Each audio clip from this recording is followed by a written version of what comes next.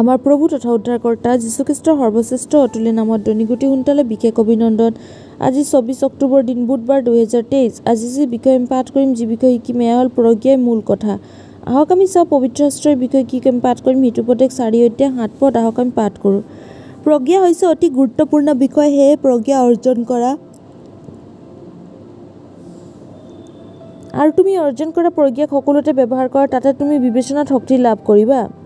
প্ৰজ্ঞা আটাইতকৈ গুৰুত্বপূৰ্ণ কথা ঈশ্বৰৰ বাক্য তেওঁৰ ঐশ্বৰিক জ্ঞান আৰু খ্ৰীষ্টৰ যি মূলত্ব সকলো প্ৰজ্ঞাৰ ফুৱাৰ। যেতিয়া আপুনি ঈশ্বৰৰ বাক্যৰ ওপৰত গুৰুত্ব দিব আৰু ভোক আৰু পিয়াহেৰে বিচাৰিব তেতিয়া আপুনি জ্ঞানী হ'ব। ঈশ্বৰৰ বাক্য কেৱল জ্ঞানৰ নহয় কিন্তু ক্ষমতাৰো কিয়নো ঈশ্বৰৰ বাক্য জীৱন্ত আৰু শক্তিশালী আৰু যিকোনো দুধাৰী তৰোৱালতকৈ চোকা। আৰু যদি আপোনাৰ ওচৰত ঈশ্বৰৰ এনে শক্তিশালী বাক্য আছে তেন্তে চৈতানে আপোনাৰ ওচৰলৈ আহিব নোৱাৰে। এনে প্ৰজ্ঞা পাবলৈ কেৱল ঈশ্বৰৰ বাক্য পঢ়াই যথেষ্ট নহয় কিন্তু আপুনি সেইবোৰ ঘোষণা কৰি থাকিব লাগে আৰু ইয়াৰ নীতিসমূহ আপোনাৰ জীৱনত প্ৰয়োগ কৰক আৰু ঈশ্বৰৰ বাক্যই আপোনাৰ জীৱনত মহান সতেজতাৰ আশীৰ্বাদ কঢ়িয়াই আনিব। গীতমালা ঊনৈছ নম্বৰ সাত পদত লিখা আছে জিহুৱাৰ ব্যৱস্থা হৃদ্ৰ সেয়ে মানুহে প্ৰাণক জগাই তোলে। জিহুৱাৰ বাক্য বিশ্বাসযোগ্য ধাৰণৰ সাধাৰণ লোকক জ্ঞান দান কৰে। শাস্ত্ৰত অনুসন্ধান কৰক আৰু সেই পদবোৰ বিচাৰি উলিয়াওক। যিবোৰে আপোনাক আপোনাৰ সমস্যাৰ পৰা মুক্ত কৰিব সেইবোৰ পঢ়ক সেইবোৰ ঘোষণা কৰা আৰু সেইবোৰ আপোনাৰ জীৱন প্ৰয়োগ কৰক। যেতিয়া আপুনি প্ৰথমে ঈশ্বৰৰ ৰাজ্যৰ এটা ধাৰ্মিকতা বিচাৰিব তেতিয়া প্ৰভুৱে আপোনাৰ গোটেই দিনটোৰ বাবে নিশ্চয় জ্ঞান প্ৰদান কৰিব।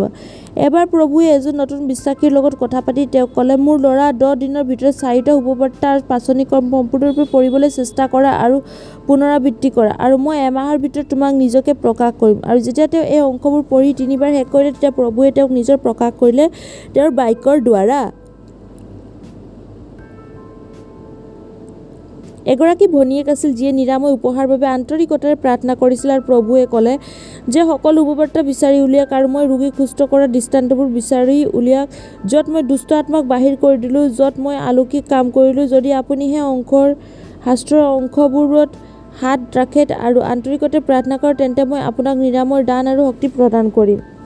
তাই আৰোগ্যৰ উপহাৰ লাভ কৰিছিল। ঈশ্বৰৰ সেই বাক্য অনুসৰণ কৰি ঈশ্বৰৰ সন্তানসকল তোমালোকে জ্ঞানেৰে পৰিপূৰ্ণ হোৱা উচিত। আপুনি কৰা সৰু সৰু কামবোৰত সেইবোৰত ঈশ্বৰিক প্ৰজ্ঞা প্ৰকাশ পাব লাগে। গতিকে ঐশ্বৰিক বাক্যত গুৰুত্ব দিয়ক। ঈশ্বৰৰ বাক্যত ভাল পাওক আৰু পঢ়ক।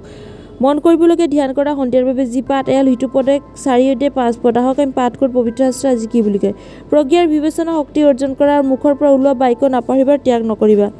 আজি পবিত্ৰ বাক্য পঢ়াৰ যোগেদি প্ৰভু দিছে পৌৰ্তা সকলো প্ৰতিশ্বৰ ৰক্ষিমা কৃপাত আজি পালে সদায় সৰ্বদা কালে সকলো কথা ধন্যবাদ আমেন হালিলুয়া।